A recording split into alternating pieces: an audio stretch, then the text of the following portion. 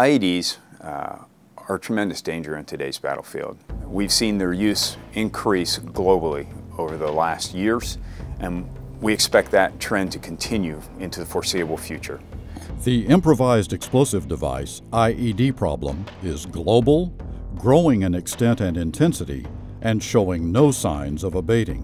What we saw in Iraq um, for years was the use of conventional ordnance, i.e. military grade weapons uh, that were left over from Saddam's regime, uh, modified to create the intended effect. What we've seen more and more in Afghanistan is a use of homemade explosives using fertilizer-based compounds to create the desired effect.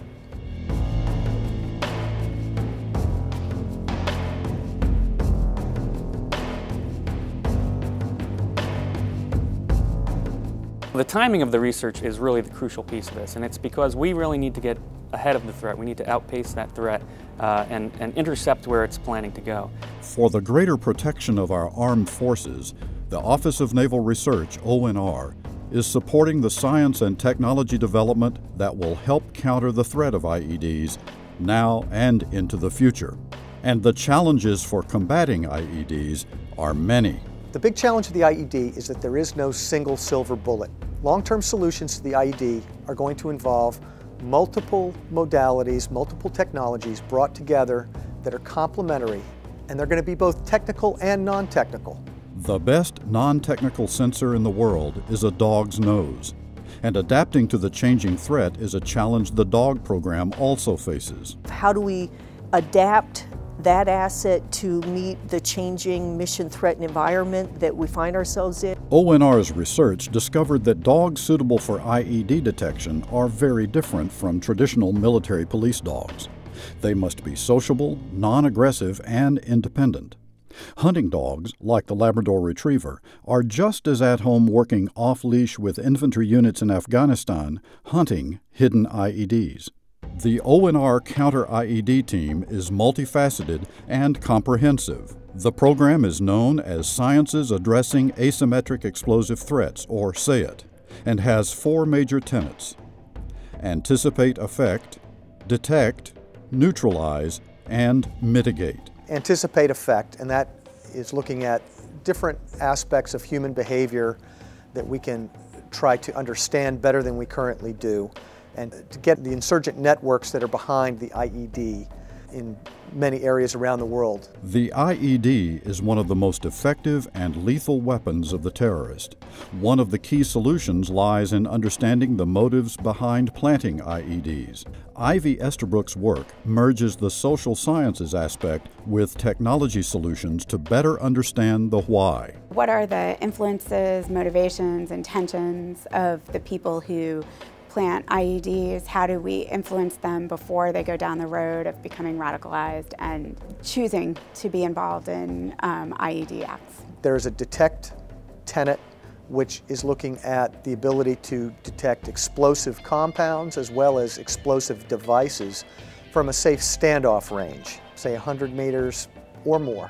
We found that uh, there are very unique frequency regimes that are emitted by different kinds of explosives like sandstone, marble, um, HMX containing things, military kinds of explosives, as, as well as homemade types of explosives like ammonium nitrate. While future standoff detection solutions are in the works, right now the dog provides the best detection ONR can provide the warfighter. From that initial 21 dogs that were fielded in Al Anbar province in 2007, the Marine Corps now has 247 dogs with 140 in theater probably as we speak and are on their way up to, they've just increased their requirements to over 500. There's a uh, neutralize tenet where we're looking at new ways of um, neutralizing the devices or neutralizing the explosive compounds from, a, again, from a safe standoff distance. We knew that from our previous experience, our previous research, that high power microwaves, compact pulse power could play a role in defeating uh, IED technology. Finally, there's a mitigate tenet that is our last line of defense, we're looking at new materials for personal protective equipment, body armor, ballistic glass, bulletproof glass, those kind of applications, eventual applications. Down the road, we're, we're trying to protect the soldiers, sailors, and Marines,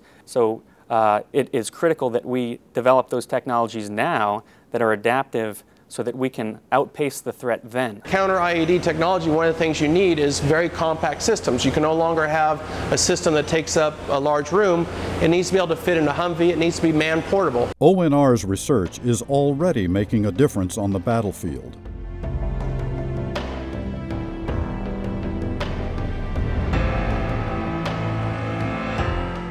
The uh, Marine Corps has had tremendous success with the IED detector dog program. We are developing radio frequency components and subsystems that are uh, almost beyond the cutting edge uh, so that we can integrate those into future systems. We have several examples where um, understanding or knowledge that's been developed out of some of our programs has been informing current operations in Afghanistan. ONR, by engaging the IED problem scientifically, prioritizing their investments and increasing the research knowledge base is contributing to enduring solutions that will be resistant to adaptation. ONR support is extremely important. Without ONR support, uh, we simply couldn't afford to do the kind of research we're doing today. Research that will help protect our sailors and Marines now and in the future. They're risking their lives every day, and the only risk I have is in my commute to work. The best that I can do is sit at my desk and do what I can, which is develop the capabilities to protect them. Our measure of success for this program is going to be when Marines and sailors have knowledge of these IEDs in terms of location, in terms of who's been emplacing them, how to avoid them, how to neutralize them, because when we do that, the bad guys are going to move on to something else. The Navy and Marine Corps is doing a lot to respond to the immediate challenges of IEDs but it's imperative that we institutionalize long-term strategies and solutions to take that strategic weapon of choice away from our enemies.